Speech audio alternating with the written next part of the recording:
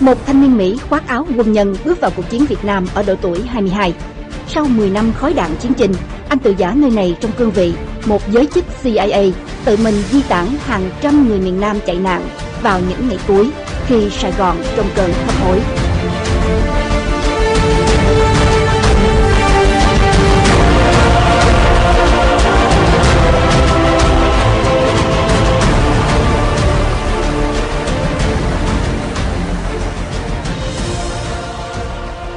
Jim Parker nằm trong số những toán lính Mỹ đầu tiên được phái sang Việt Nam và trở thành giới chức sau cùng rời khỏi cuộc chiến sau khi cãi lệnh trên, tự nguyện lưu lại để cứu những nhân viên cấp dưới của mình và gia đình của họ thoát khỏi sự trả thù hay giết hại từ phe thắng cuộc. Như những thanh niên đồng trang lứa trong giai đoạn tiền khởi của cuộc chiến, Parker lên đường sang Việt Nam vào năm 1965, được đưa tới nhận công tác tại khu vực trải dài từ Tây Bắc Sài Gòn ra tận Tây Ninh.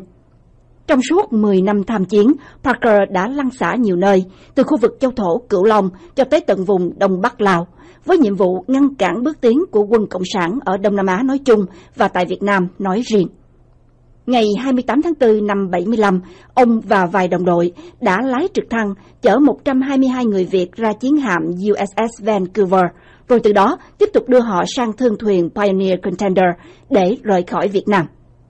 Trong đêm 29, trên đường lái chiếc gian Đỉnh LSD tới cảng Vũng Tàu, ông còn cứu vớt thêm hàng trăm người di tản đang tìm cách trốn chạy trên các thuyền đánh cá nhỏ, đưa họ từ các cửa sông ra Vũng Tàu, trước khi tàu ông chính thức nhổ neo hướng về Philippines rạng sáng ngày 1 tháng 5.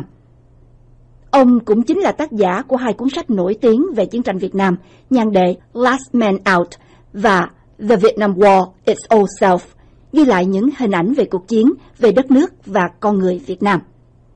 42 năm nhìn lại sự kiện lịch sử 30 tháng 4, Parker vẫn còn nhớ như in những thời khắc cuối cùng đó. Well, they were hectic. I remember standing on the top bridge of the...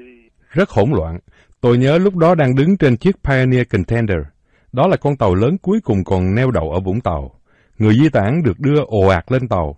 Khi tàu đã quá nặng, thuyền trưởng ra lệnh ngưng và chúng tôi là những người sau cùng rời khỏi Vũng Tàu. Chúng tôi nhổ neo vào sáng sớm. Trước khi tàu nhổ neo, tôi nhìn xung quanh, cảm nhận cảnh tai ương, những tiếng ồn ào, tiếng gào thét của những người tị nạn cuối cùng tìm cách leo lên chuyến tàu cuối. Mọi thứ chìm trong hỗn loạn. Tôi nghĩ tới những đồng đội của mình. Ông Parker kể, sáng ngày 28 tháng 4, đồng đội của ông lên Sài Gòn để xin phép đưa những nhân viên người Việt di tản. Lúc đó, ông có sẵn hai trực thăng chờ lệnh. Phòng đại sứ đóng cửa và đại sứ không tiếp ai. Người đồng đội đã trao đổi với trợ lý của đại sứ, giải thích và thuyết phục. Vì trợ lý nói lệnh trên không cho phép hỗ trợ di tản hoặc bắt đầu di tản. Hết cách, đồng đội của Parker đã thốt lên rằng không còn nhiều thời gian nữa, và người trợ lý bảo, vậy thì chúc các ông may mắn. Chỉ cần có thế, Parker và đồng đội ngay lập tức bắt tay vào việc dùng trực thăng đi vớt người di tản từ nhiều điểm tập trung khác nhau và lần lượt đưa thẳng ra hàng không mẫu hạm USS Vancouver. Thuyền trưởng chiến hạm khẳng định với Parker rằng không có lệnh cho phép di tản và giải pháp cuối cùng được đưa ra. Parker và đồng đội phải chuyển mọi người sang thương thuyền Pioneer Contender gần đó.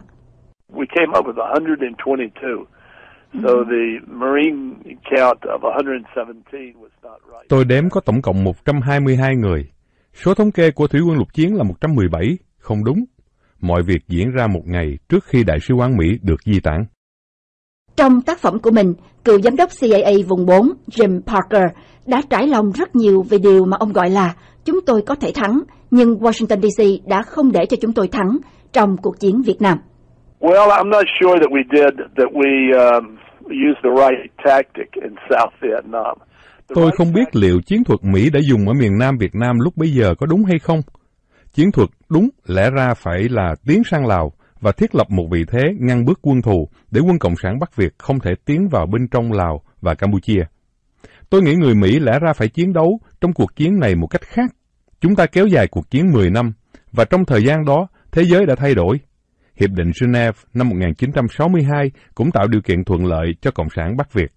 Chiến thuật của chúng ta dùng không đúng.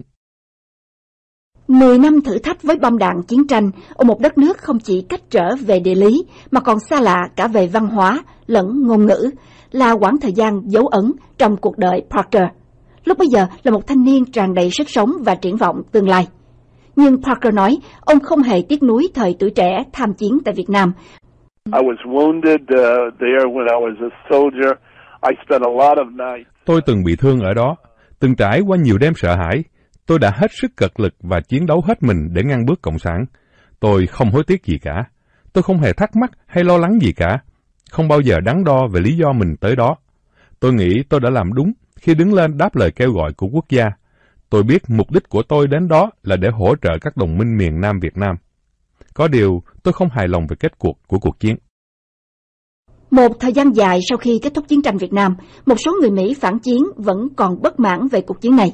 Nhưng đối với ông Parker và đồng đội, đó là quãng thời gian đáng nhớ nhất, đáng tự hào nhất của họ.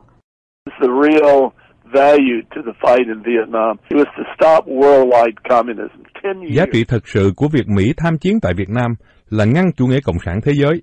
Chúng tôi đã giữ cương 10 năm tại Việt Nam. Ông Parker hy vọng cuộc chiến Việt Nam sẽ được đưa vào sách giáo khoa giảng dạy cho thế hệ trẻ ở Mỹ để họ hiểu đầy đủ ý nghĩa, nguyên nhân và kết cục của cuộc chiến. Kể từ sau cuộc chiến, hàng năm tới ngày 30 tháng 4, người Việt có người hân hoan đón mừng, có người đau buồn tưởng niệm sự kiện này.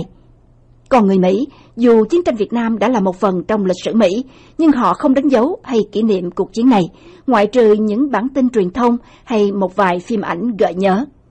Ông Parker nói, 30 tháng 4 cũng nên là dịp để người Mỹ tưởng nhớ một phần của lịch sử, tưởng nhớ những người đã nằm xuống vì lý tưởng, và để ghi dấu sự hiện diện và phát triển của cộng đồng người Việt tị nạn tại Mỹ.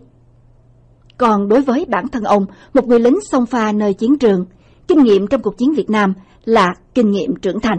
That I have uh, made friends and done things with people from Southeast Asia. I think I have enjoyed life. Tôi đã kết bạn và cùng làm việc với người dân Đông Nam Á. Tôi yêu quý cuộc đời mình hơn vì những kinh nghiệm có được từ cuộc chiến Việt Nam. Với thế hệ trẻ Mỹ chưa từng biết đến Việt Nam và cuộc chiến Việt Nam, ông Parker khuyến khích họ nên sang thăm Việt Nam, không chỉ vì Việt Mỹ có chung một khúc quanh lịch sử, mà còn để cảm nhận rằng người dân Việt Nam là những người bạn chân thành với người dân Mỹ. Ông hiện vẫn tiếp tục tìm kiếm những cựu nhân viên, những người đã được ông giúp di tản vào những ngày cuối tháng 4, 42 năm về trước, và mong được bắt nhịp liên lạc với họ từ trang web cá nhân moorations.com. Vợ chồng ông Parker không có con. Người con trai, con gái đã trưởng thành của họ bây giờ là hai trẻ Việt Nam được họ nhận làm con nuôi từ tấm bé.